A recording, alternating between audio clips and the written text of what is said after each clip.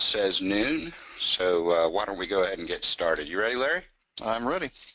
Very good. Um, folks, uh, we'd like to welcome you to our webinar today.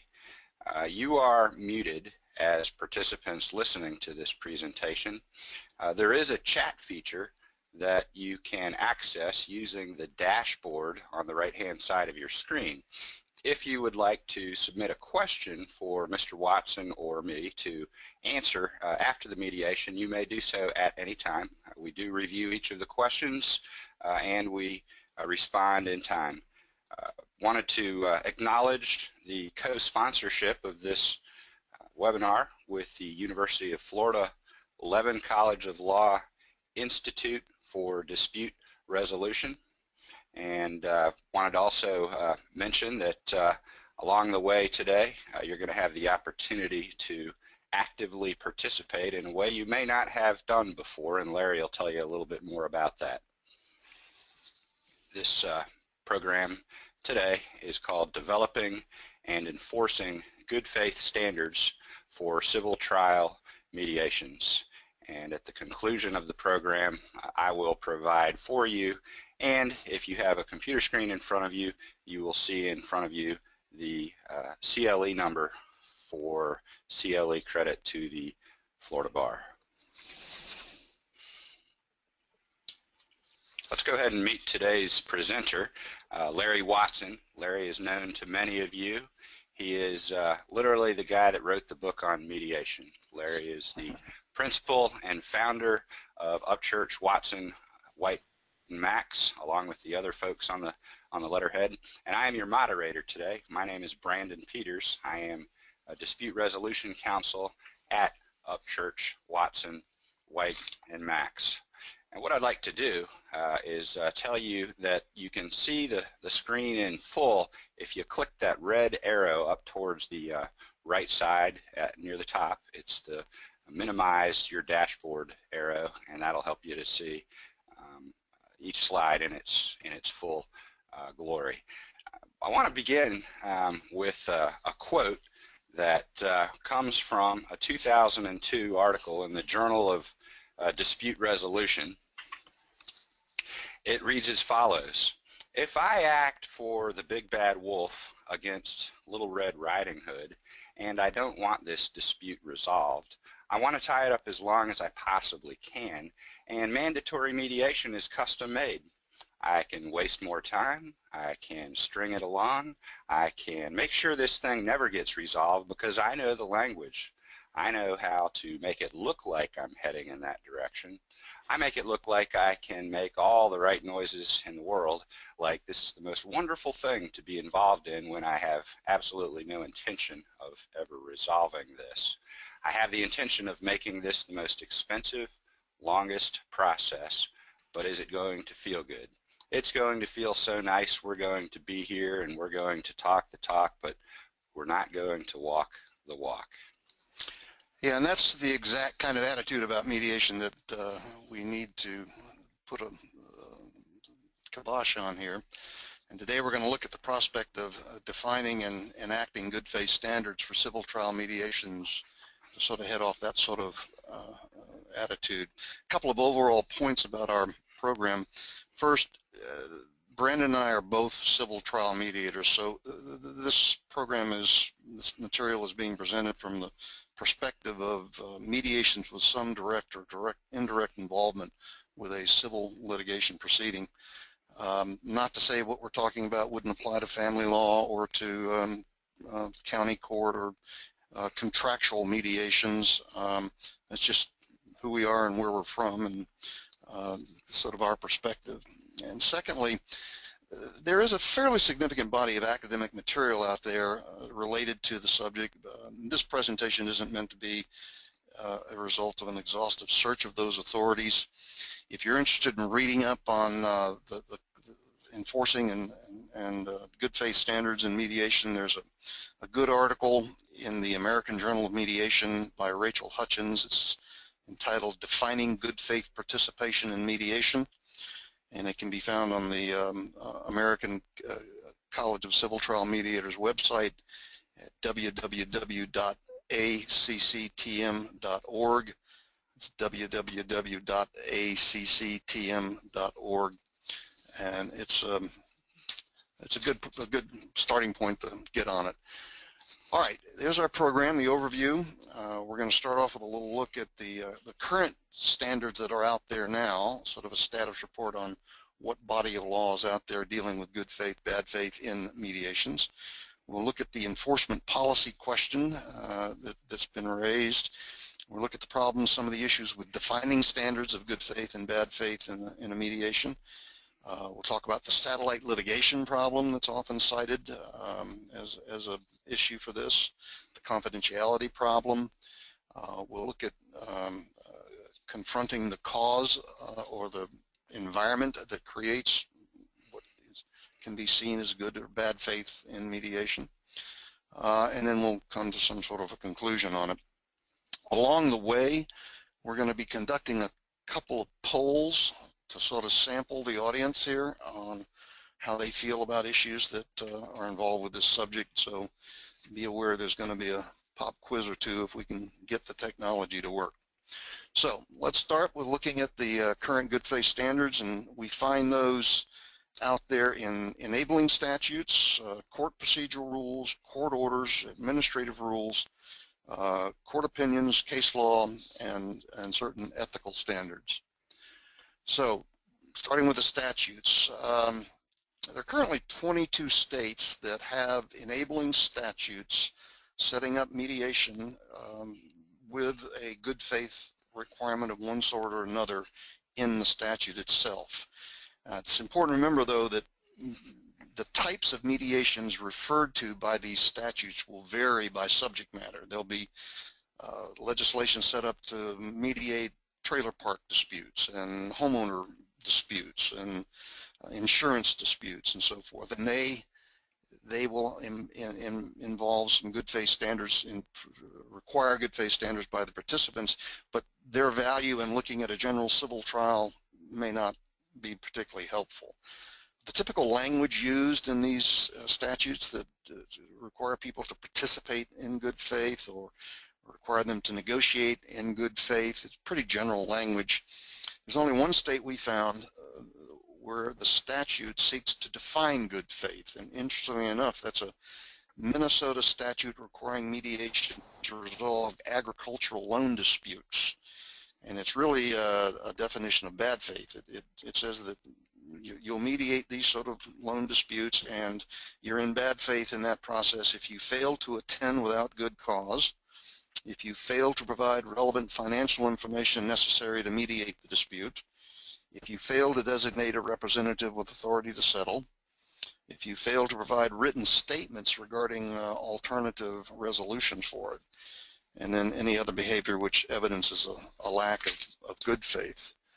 Um, so the statutes don't offer a lot of help as we're looking around for that. Procedural court rules, I think uh, beginning with the federal courts, uh, it's been argued that Federal Rule 16 establishes a federal court rule requiring good faith in mediation.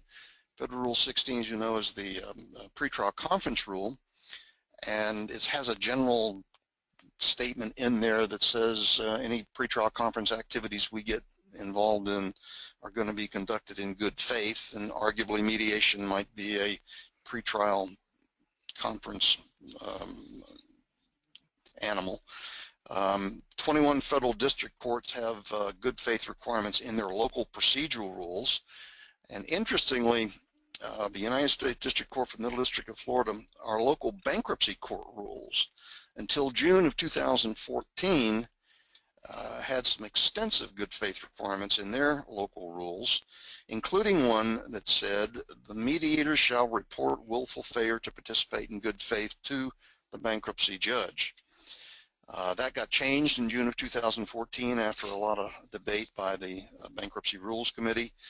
And the new rule now simply says parties are encouraged to participate uh, in the mediation in a good faith attempt to resolve the issues between them. Um, 17 states have good faith requirements in their procedural rules.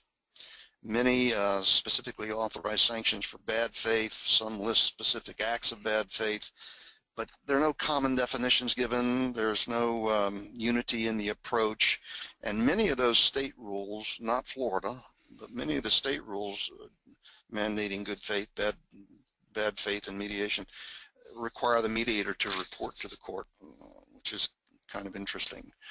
Uh, another area where we find um, existing law, if you will, uh, dealing with uh, good faith, bad faith, and mediation is in the independent uh, court orders. These are the court, the specific judges who have um, mediation referral orders, and, and in their language, there's a lot of um, talk about good faith and bad faith. For example, in the federal district court in Florida, uh, in the middle district, there there's a uniform case management order you're mostly familiar with.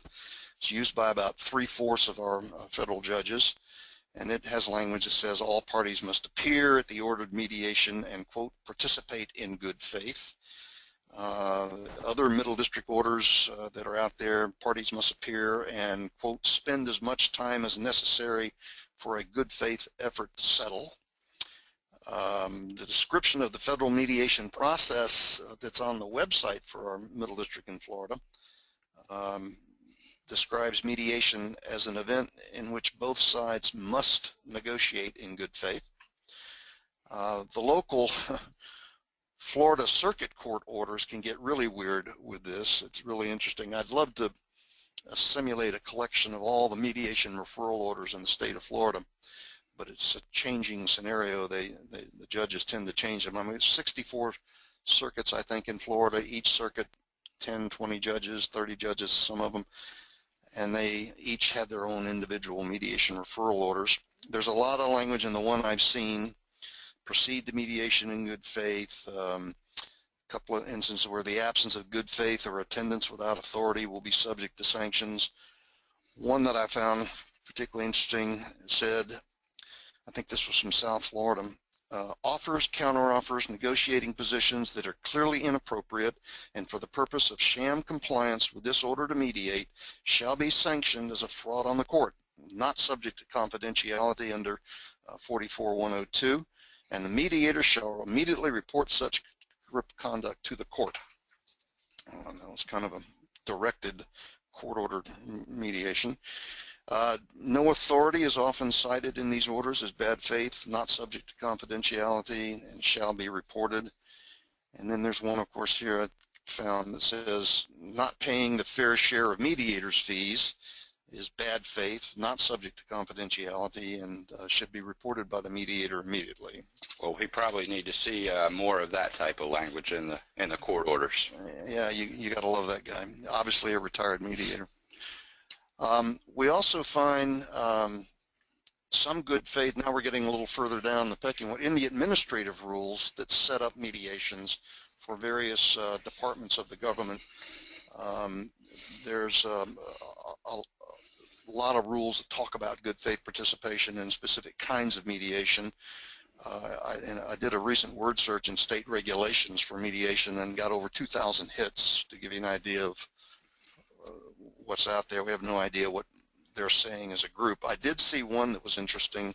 The Department of Financial Services in, in defining mediation for windstorm claims uh, has ruled or has put in the regulation that the adjuster, the insurance company, is in bad faith if they don't have adjuster present at the mediation with a complete file in hand, the adjuster at the mediation isn't familiar with the file, uh, the adjuster at the mediation doesn't have a complete copy of the policy in his hand, if the adjuster hasn't viewed the property immediately before the mediation, and more importantly, if the adjuster isn't empowered to write a check at the close of mediation, uh, they're in bad faith according to this Department of Financial Services regulation. Otherwise, in the regs, we see bad faith as continuous disruption, unduly argumentative behavior, belligerent, adversarial, and so forth. And again, in the administrative rule, there's a lot of instances, like some of these court orders, that require the mediator to both determine whether bad faith is happening and to report it if it is. Um, we've had court opinions out there where sanction motions have been filed and specific uh, activity reviewed and the courts have offered opinions on whether or not the, the complained about uh, event constitutes good faith, I mean bad faith. Um, and those court opinions are all over the place. Um, New York has ruled a lot on these, and New York State Court ruled failure to appear with settlement authority as bad faith, uh, a refusal to speak, to allow the lawyer to speak, or to listen to the explanation of the process was ruled as bad faith. There was a federal district court for the Middle District of Florida that ruled that the apparent use of the mediation as a process to extort money was bad faith. Um, one of the more notable court opinions on bad faith didn't so much have to do with defining uh, what is bad faith, but sanctioning it.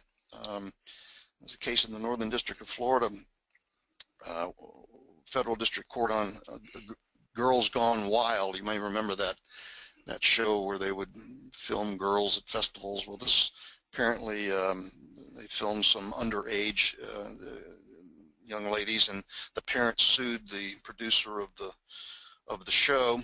He was ordered to mediation in federal district court in Northern District of Florida, and he showed up, uh, according to the record, with a tank top and cutoffs and flip-flops, and proceeded to throw spit wads at the plaintiff's lawyer as the opening presentation was being made. Uh, he made rude barnyard noises uh, during the uh, discussion of the case, um, threw things around, slammed stuff around. Uh, they filed a motion for sanctions. It came before the judge.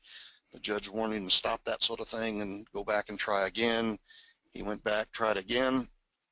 Uh, same thing happened again and went back to the judge, and the judge put him in jail. Uh, sanctioned the, the, bad faith activity in mediation by cooling his heel in the pokey. Uh, Larry, I don't know if I uh, seem to always draw the short straw, but that sounds fairly typical of my experience with uh, mediation. hey, uh, throwing spitwads at you, yeah. Well, um, on the other hand, when you look at the court opinions, um, there's a Texas state court that made a ruling that's kind of interesting that basically said the court can order the party to mediate, but a court cannot order parties to mediate in good faith. In other words, you can't do that. Uh, you can't uh, order uh, a good faith, uh, an order requiring good faith negotiation is void. You can't sanction for failure to negotiate in good faith. And the logic used in that opinion, Fort Worth, uh, Texas uh, State Court, um, it's against the principle of consensual mediation to force parties to negotiate a settlement.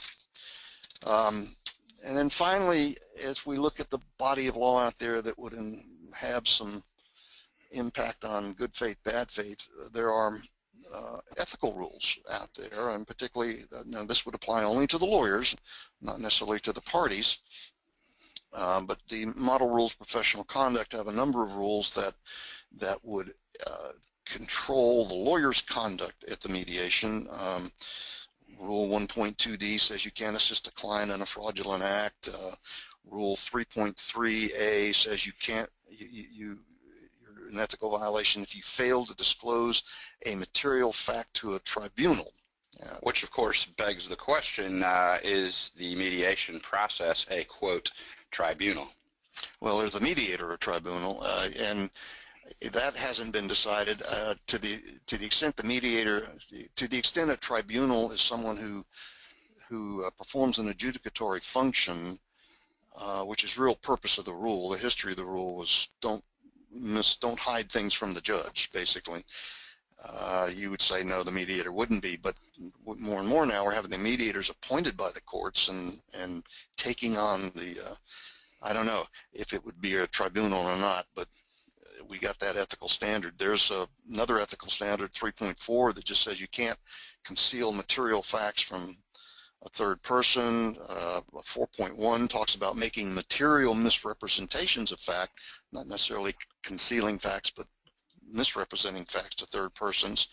And on that one, there's a note, there's an exception on it that, that notes that puffing isn't to be regarded as if a lawyer is puffing a claim or puffing a a negotiation, that's not necessarily a misrepresentation, and certainly a statement of value of claims is an exception to that one. Um, 4.4, you can't engage in bad faith use of litigation, uh, to the extent mediation is subsumed in the litigation process by virtue of a court order, um, possibly that that that could come into play. And finally, 8.4 talks about not engaging in dishonest conduct. There is a tremendous body of work out there. Uh, the American Bar Association um, section of litigation produced, had a task force that I was fortunate enough to work on, and that produced a, a document entitled Guidelines for Ethical Settlement Negotiations. And what this document does is tie together the ethical standards for professional conduct for a lawyer with settlement negotiations and comes up with a, a series of best practices and, and that kind of thing in in ethical, and that ought to be required reading. Uh, there's a rather lengthy um, website address there at abanet.org, litigation ethics settlement negotiations. Um, but again, these are all limited to lawyers, uh, and so when you sort of look at the total body of law out there involving good faith, bad faith, there are no uniform standards of conduct for mediation players. There, there are no generally agreed definitions of what's uh, bad faith or good faith in a mediated settlement process. Um, the ABA dispute resolution section filed a report in August of 2004 that said there are more than 100 state and federal statutes and rules requiring parties to participate in court-mandated mediations in good faith, but dealing with good faith and bad faith is kind of overshadowed by defining it. Uh, we have sort of a Justice Potter Stewart, I know it when I see it kind of kind of norm going on, and the courts are, as we've noted, all over the place in their enforcement procedures. Everything from putting people in jail to saying they can't be enforced enforced at all. And and part of the reason part of the reason for that lack of any I submit for the lack of any significant body of law dealing with good faith, bad faith, is the fact that there is a substantial debate going on within the ADR community as to whether or not we should adopt and enforce good faith standards in mediation at all. Um, there are a lot of pros and cons being thrown about uh, that, that have sort of put a damper on, I think, in any significant movement in this area. And, and it kind of works out this way. Uh, when they look at the question, should we create and enforce good faith standards. Those who say yes, it's like, well, come on, we, we, we have to preserve the meaning and the trust in the process. We, we need to avoid abuse, wasted time and money that's involved with going through a pro forma mediation that, that as we indicated in that first quote that began the program, walking the walk and but we're not talking, or we're talking the talk, but we're not, we're going to walk the walk. Um, and by the way, mediation a, become a critically effective judicial docket control tool. Uh, we need to have it needs to be viable. It needs to, it needs to work. Uh, those who, on the other hand, say no, we shouldn't enforce good faith standard. We shouldn't go down that path. Let's talk about the lack of definition. Uh, how do we define these standards? Um, we don't want to inhibit freewheeling and consensual negotiations with people looking over my shoulder when I'm harmlessly being a jerk in my negotiations. Um, they talk about the satellite litigation problem uh, and, and, and then the compromise of, of confidentiality. And, and that's the sort of the broad base thing, which kind of leads us to our first poll. Before we get into the weeds on these issues, I kind of like to get, Brandon and I kind of like to get a, uh, feeling from the audience listening here. What's your take on that? I mean, just without getting bogged down in the details, should we seek to compel good faith at all? Is it, is it worth the effort? Well, let me read the uh, first poll question for the benefit of our listeners. The question is, as a matter of policy, should we seek to create and enforce good faith standards in civil trial mediations? What you need to do is use your mouse to click one of the boxes, either, either yes, enforce or sanction, or click the box no, do not enforce or sanction. And take a few seconds and register your answer, and then we'll display the poll results so that we know what our listener audience thinks about that all-important threshold question.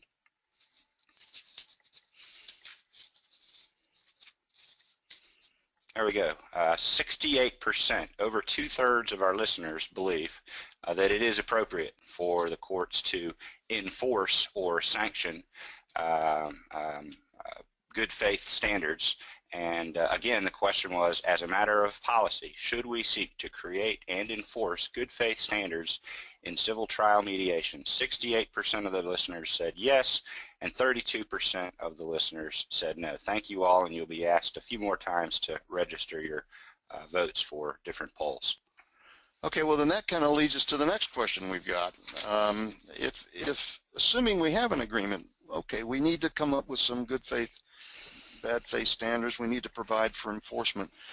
What's the target? What is the conduct that is the key thing that we want to, to attack? Let me read this one. Uh, this is our second poll question. What is the most frequently occurring act or omission by mediation participants that you would consider to be bad faith? And you get to select one. The first choice is disruptive behavior. Number two, lack of preparation. Number three, lack of authority. The fourth item, failure to negotiate, i.e. no offer, no demand, no response and the last choice, dishonesty, such as misrepresentation or an omission. Please register your votes and we'll display the results.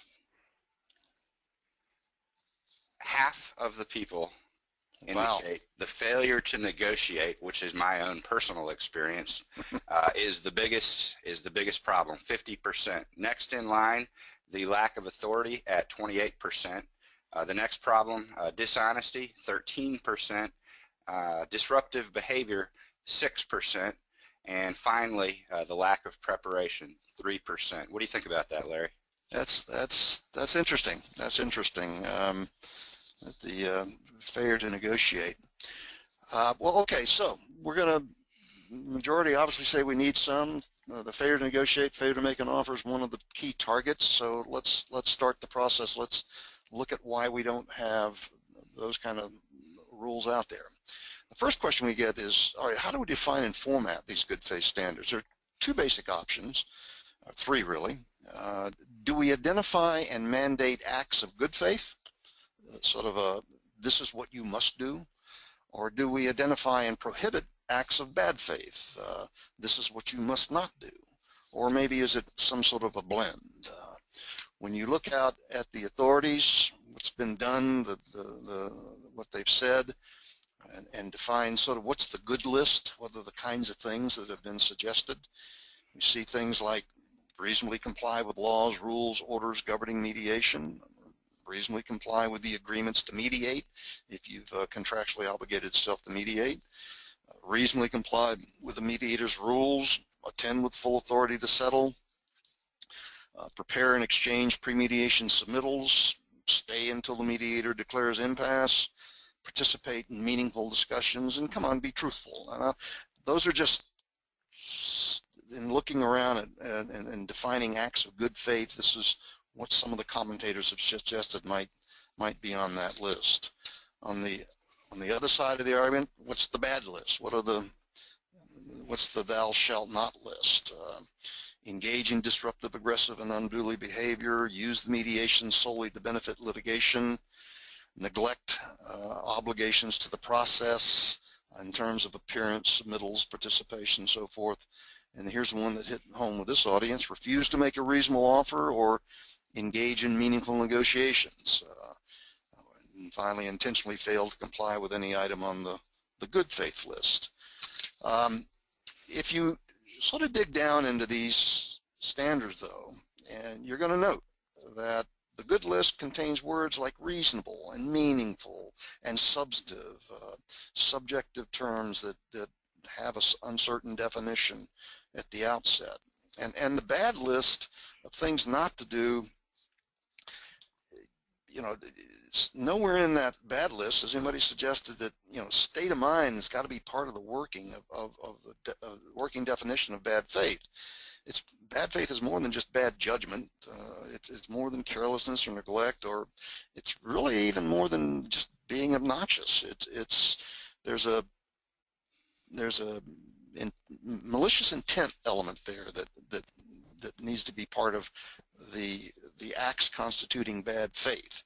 Uh, but all of these uh, create subjective determinations. And in fact, when we define good faith, bad faith standards, we need to be very careful of objective versus subjective language. Uh, if to effectively enforce these rules, we need to have uh, yes, no, on, off kind of rules to the, to the greatest extent possible. Um, we need to minimize the subjective standards, the well, it depends, and the maybes and the sometimes kind of rules, and and try to maximize standards that that have objective criteria with them.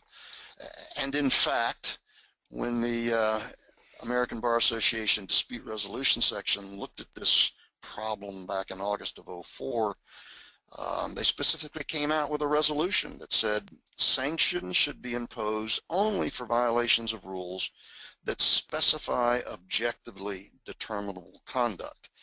And they gave um, objectively determinable conduct examples as attend the mediation. Uh, that's okay, the party, the attorney. Uh, remain at the mediation for a specified time. Okay. Uh, provide advance written memoranda at the mediation.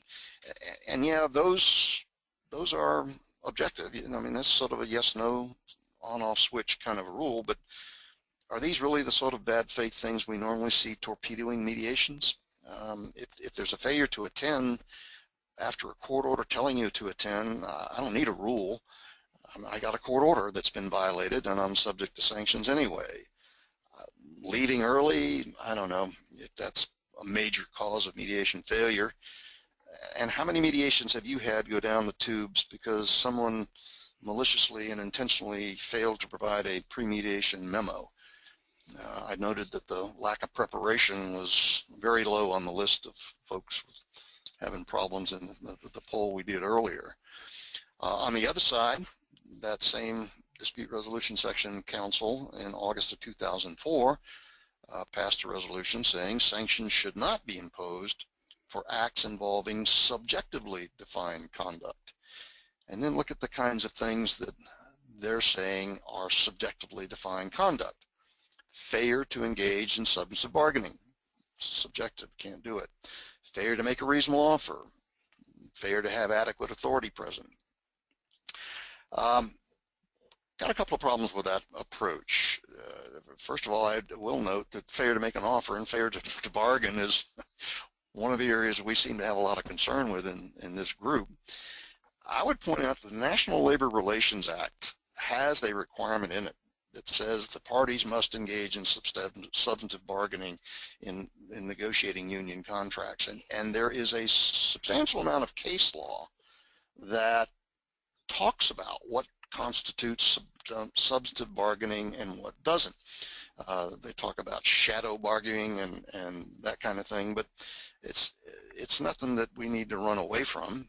Um, but in any event, if we just lost the word substantive there and just said fair to gauge and bargaining, that's kind of an on-off switch that might work. The same with fair to make a reasonable offer. Um, what about a fair to make any offer? Uh, I don't care if it's reasonable or not. And then finally, with the authority, that that's a major pet peeve with us. Uh, it's hard to accept the notion that the present authority at mediation is a subjective standard. Uh, this is one of the primary areas, areas of mediation abuse. It's one of the primary reasons for failed mediations. It's one of the principal items of frustration and angst among those mediators that are that are out there trying to do the work. It's hard to believe we can dodge this issue by calling it too subjective to deal with. Um, the logic used by the um, ABA section, ADR section, when they when they came up with this is whether a representative's authority is adequate turns on the actual value of the case. The value of the case is subjective. In reviewing adequate authority, the courts would have to value the case. These are all subjective determinations we don't want to get into. Um, may be true, but it centers on the word adequate. It assumes the absence of authority at mediation is a simple result of someone inadequately valuing the case. I don't know that inadequately valuing the case is necessarily a bad faith issue. I don't know that that's a malicious, intentional act designed to torpedo the mediation. Uh, we can deal with that. The real authority issue goes a lot deeper. What about in Florida, for example, no authority to pay up to the limits of the policy or the plaintiff's last demand, whichever is less, as clearly required by our rules. What about no authority to pay anything? What about no authority to even negotiate? Um, I don't think undervaluing the case is the real source of lack authority problems. If the case is undervalued and there is a good faith intention there, we, you know, we've evaluated evaluated the case at so much and but we didn't know this and we didn't know that and that kind of thing flushes out that they, we can agree to adjourn and continue.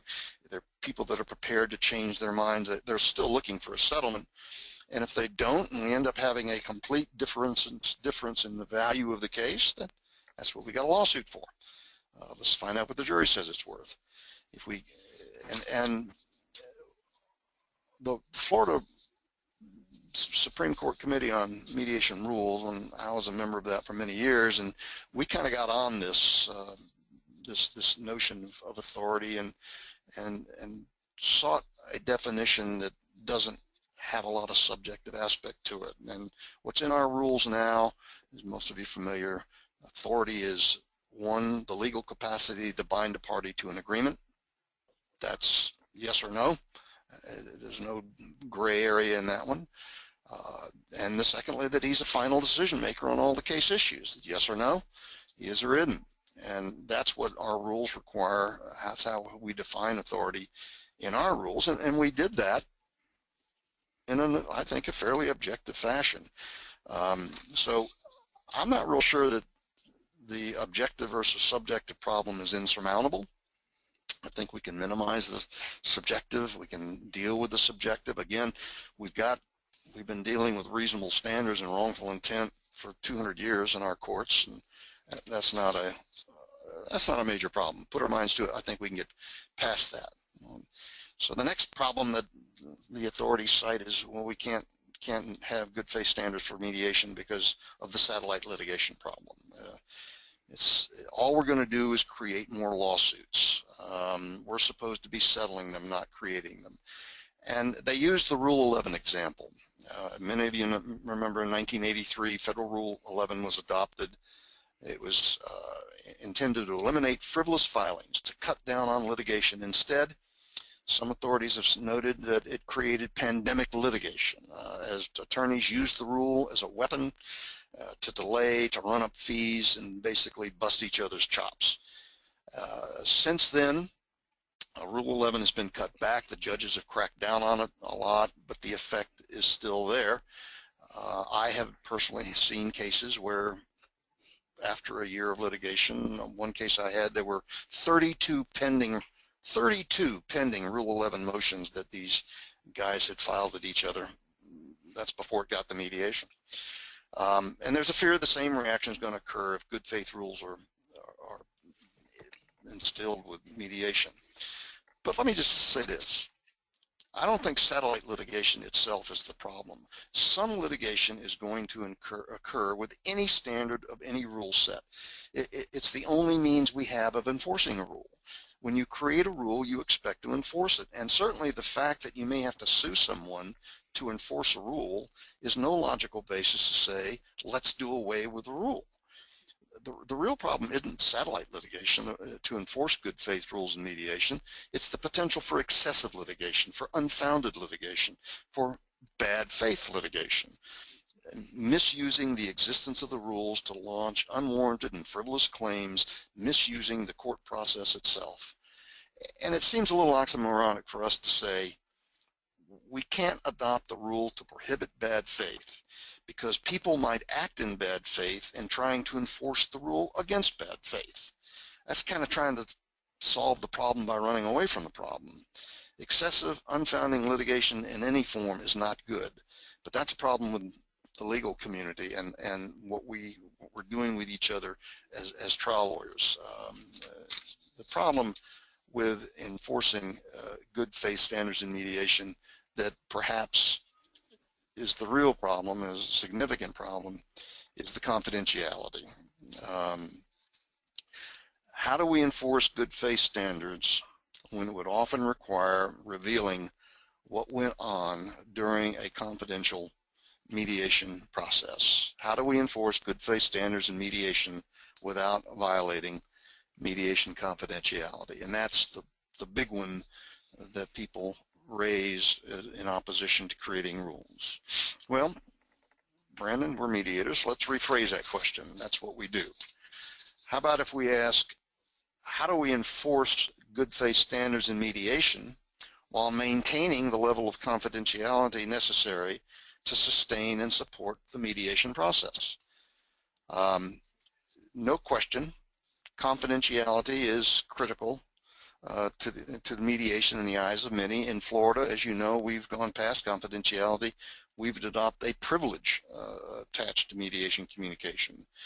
Um, and, and the fundamental principle there is we need to create a protective environment to allow the parties to make concessions and admissions essential to reaching settlement that won't come back to harm them if settlement isn't reached. Concessions toward reconciliation, often contained in mediation communications, should not be used uh, to prove liability. They need to be kept totally confident. Now, there are folks out there that say that's about as far as we really need to go with confidentiality. As long as nothing's used in, in court, as, a, as an admission, why do I need anything else? Um, and we've already got that with evidential rules. But we don't really need to go that far. Uh, we can we can ask again what level of confidentiality is really necessary to sustain support the mediation process. The goals of confidentiality are we don't want any fear of admissions or concessions being used against us in adjudication. We want a free and open discussion of settlement options, and we want trust in the mediator and trust in the process. Uh, and, and we can have all that. Uh, but, you know, we've already recognized that we can achieve those goals acknowledging there are some mediation communications that simply don't warrant confidentiality, either because it isn't necessary to support these goals uh, to give these kind of communications confidentiality, or we've made a moral judgment that certain communications don't deserve the protection of uh, any protection. They ought to, they should not be allowed to grow and fester under the umbrella of confidentiality. Such, as, the, such, such as the guy at the uh, Girls Gone Wild mediation who is making uh, barnyard noises. That's not the kind of thing we would protect. Exactly, exactly. And if you look at the Uniform Mediation Act, um, they, they came with a top-down approach to confidentiality on mediation. Everything goes on is, is confidential, and they throw a blanket all the way over everything. And then they start working through, well, wait a minute, commission of a crime shouldn't be protected, so let's poke a hole in the blanket for that. Threat of violence during the mediation, that shouldn't be protected, we'll poke a hole for that professional malpractice. Well, no, we can't have that protected. Poke another hole. Uh, professional misconduct. Yep, ethical violations conducted in the course of mediation shouldn't be protected. Uh, the last time I looked, I thought there were 13 exceptions to confidentiality in the Uniform Mediation Act, and I think there's seven exceptions to the exceptions. All communications for which we've ruled or the, the, the lawmakers have ruled confidentiality is inappropriate. And I point out real quickly, note professional misconduct is one. And we've already noted that there are ethical violations by lawyers anyway that could be um, uh, an impact. It could be the same thing as bad faith in a mediation process. And to that extent, we've already sort of got a toe in the door on whether or not um, they would be uh, protected or not under confidentiality rules. Um, then the question becomes, all right, why should acts of bad faith in mediation be given the protection of confidentiality?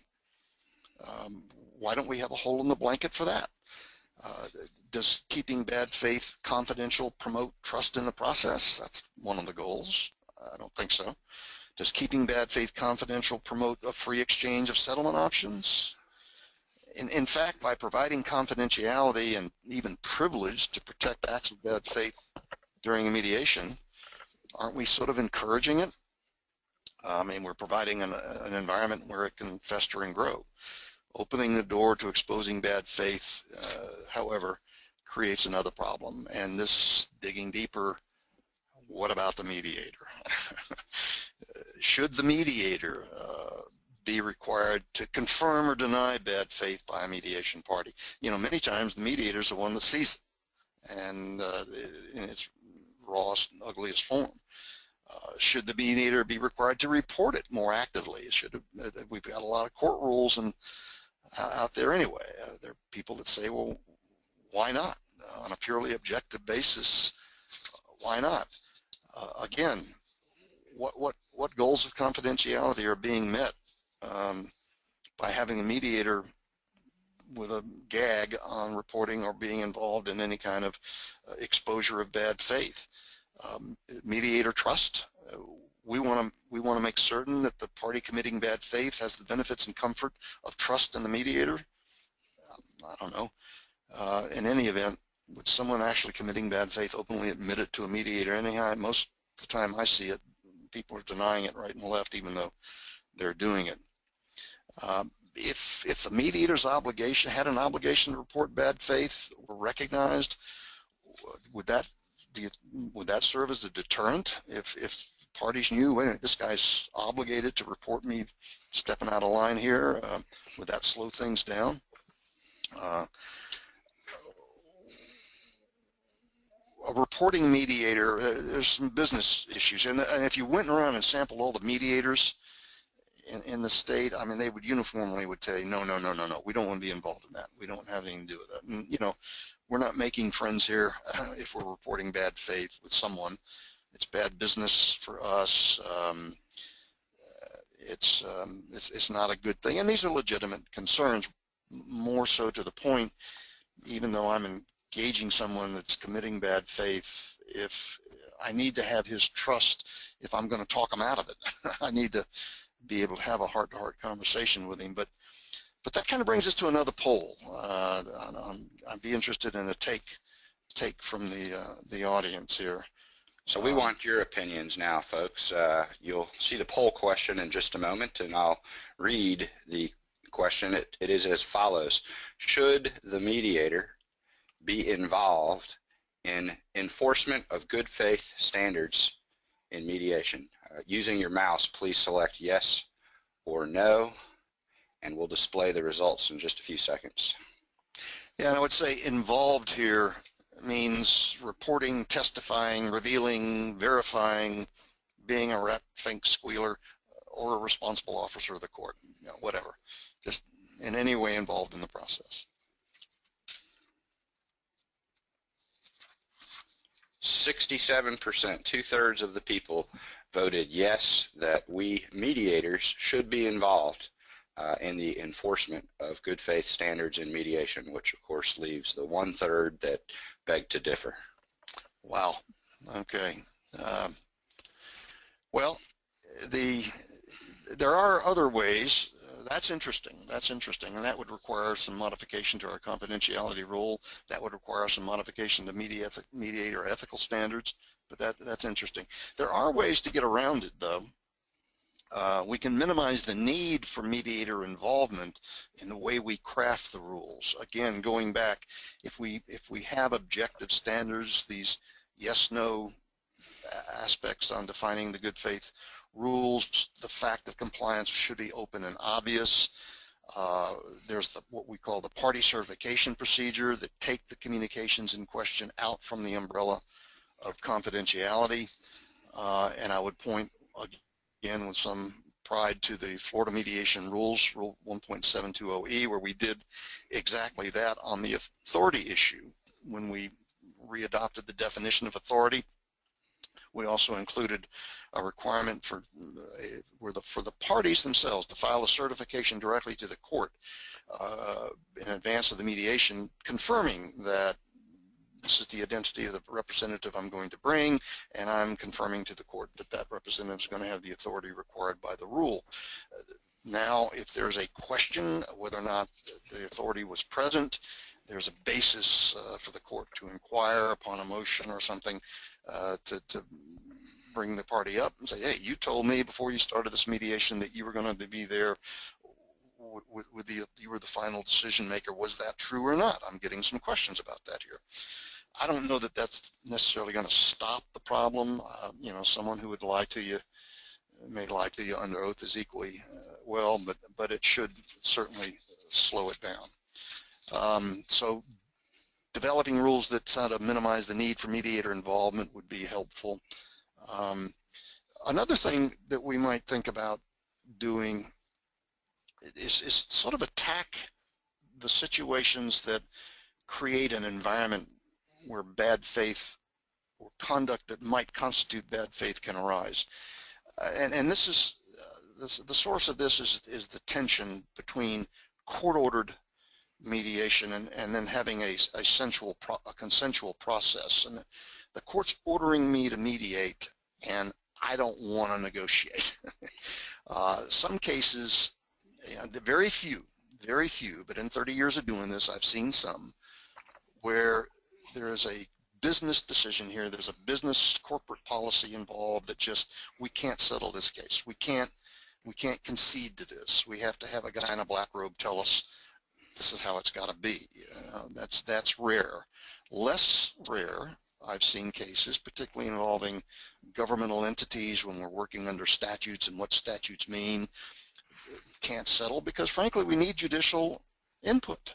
We need the judiciary to, to, to do what they were constitutionally set about to do, help interpret our laws and tell us what the legislature meant by adopting this law. And then some cases, of course, just simply aren't ready to settle within the time frames that the court sets saying you got to mediate. Um, and a way to deal with that, uh, our rules provide for a motion to defer. Um, we need to educate the bench and the bar to focus a little bit on pre-mediation motions to defer. If you put these root issues on the table, these these things that are going to block meaningful settlement negotiations, even if they're ordered to to commence, let the judge decide early on. Or, or another good way, uh, approach the mediator early on and say, look, I've got a problem with mediating this. We have a corporate policy, so forth and so on. Many times the mediator can work to head off the potential bad faith environment that that's out there. Um, so bringing it back around, our conclusion on it, I think creating and enforcing good faith standards will be a challenge, no question about it. Uh, defining the standards, uh, enforcing the standards, I think we probably need to rethink confidentiality. Uh, we need to change the way we practice mediation a little bit, but um, clearly think it can be done, which kind of leads us to the fourth and final poll question.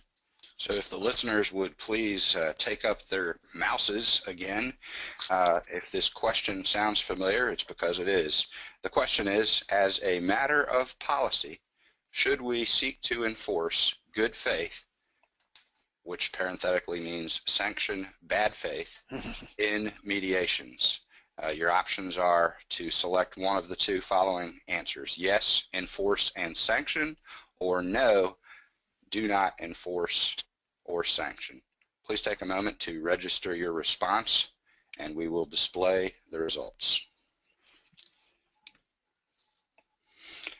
At this point, after uh, an hour of hearing uh, Larry's very reasonable explanation, 79% uh, of the people have voted yes, we need to enforce and sanction, which leaves 21% that said no, do not enforce or sanction. Yes, and I think that that is a little bit of a growth from what the first one showed. We have a few more coming over onto the enforce side. Well, and and um, that that's food for thought. Uh, we probably need to be working on that. The logical point would be the uh, uh, the Florida Supreme Court um, uh, the Committee on Rules and Mediation Rules and Policy, um, the, the, the, Florida Bar um, ADR section. Um, a lot of avenues might get started in that kind of thing. Well, Larry, uh, thank you very much for uh, uh, walking us through this uh, most informative uh, talk, uh, developing and enforcing good faith standards for civil trial mediations. Any last thoughts? Yeah, just um, um, I think we're going to take take this info. This is good information and a good a good poll in the community here. I think we're going to take this and and see what we can do with it. Uh, folks, just in case uh, you can't see it on your screen, the, the, Florida Bar course number for today's presentation is as follows. 160907-6N as in November. CLE credit 1.0 CLE credits for your attendance today. I'd like to thank my friend and colleague Larry Watson for uh, his work uh, that went into this very useful presentation. Uh, I'd like to also thank the University of Florida Levin College of Law Institute for uh, dispute resolution for its ongoing support and co-sponsorship of uh, this webinar in our series. Uh, finally, uh, let me uh, mention that uh, my colleague here at Upchurch Watson uh, White and Max, uh, mediator arbitrator Lawrence Kolin, will be joined by shareholders uh, Bob Cole and Michelle Jernigan to present our next webinar uh, in uh, a presentation entitled Other ADR. And that'll take place on Thursday, June 18th. they will discuss whether the court retains the ability uh, to refer the parties to a specific form of ADR, uh, and they'll discuss some new rules that are now uh, pending before the Florida Supreme Court concerning that subject matter. So we look forward to uh, that presentation uh, next month. And uh, again, thank you so much for your participation today. Just one more time, the Florida Bar course number 160907 6N as in November.